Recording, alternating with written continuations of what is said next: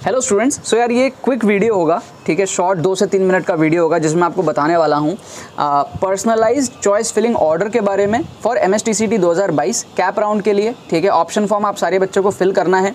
मैं और मेरी टीम लग करके पंद्रह से बीस दिन लगे हैं, जिसमें हमने एक बढ़िया चॉइस फिलिंग प्रेफरेंस ऑर्डर को तैयार किया है, जिसके अंदर में thirteen hundred fourteen hundred plus choices हैं, ठीक है? तीन सौ, साढ़े तीन सौ कॉलेजेस जितने भी हैं, उन सारे को इंक्लूड करके अच्छे अच्छे ब्रांचेस को इंक्लूड करके हमने जो है लिस्ट को तैयार किया है। काफ़ी सारे बच्चे ऐसे हैं जिनको यार चॉइस फिलिंग के अंदर में दिक्कत आ रही है। उनको समझ नहीं आ रहा है कि चॉइस फिलिंग में कौन सा ऊपर डाले, कौन सा नीचे डालें, क्या कॉम्बिनेशन होगा कॉलेज वर्सेस ब्रांच का बच्चों को, बहुत ज़्यादा इसके अंदर में दिक्कत आ रही है। आपको कैप राउंड के अंदर में चॉइस फिलिंग के अंदर में ऑप्शन फॉर्म के अंदर में कम से कम तो भी 200-250 चॉइसेस आपको भरने चाहिए, ठीक है? और ऑर्डर आपका बहुत सही होना चाहिए, अगर आपने ऑर्डर में गलती कर दी, बच्चों को बहुत ज़्यादा इसमें दिक्कत आती है। बच्चे अक्सर साइबर कैफ़ेज़ में जाते हैं कॉलेजेस में जाते हैं और वहाँ से हेल्प लेते हैं गाइडेंस लेते हैं चॉइस फिलिंग के लिए, या फिर बहुत सारे यूट्यूब चैनल्स के पास भी जाते हैं।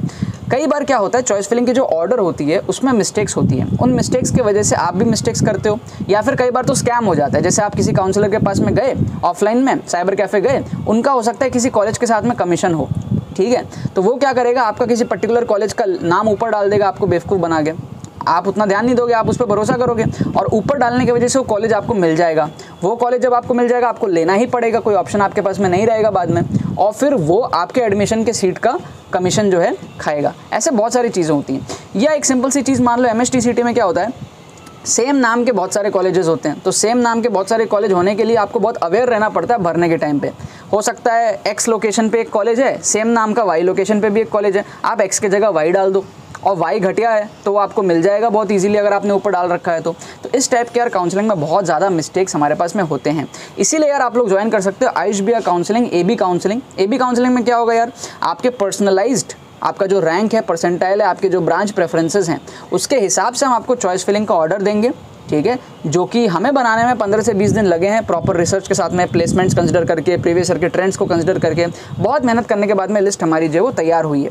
आपको वो चुटकी में मिल सकता है, आपको बस रजिस्टर करना है ए बी काउंसिलिंग में, मेरे से बात करनी है, मैं पर्सनली आपसे बात करूँगा। बात करने के बाद में मैं आपसे आपका रिज़ल्ट मार्कशीट जो भी सारे प्रेफरेंस ऑर्डर्स है, वो सब मांगूँगा मतलब जो भी आपके ब्रांच प्रेफरेंसेस है, वो सब मांगूँगा।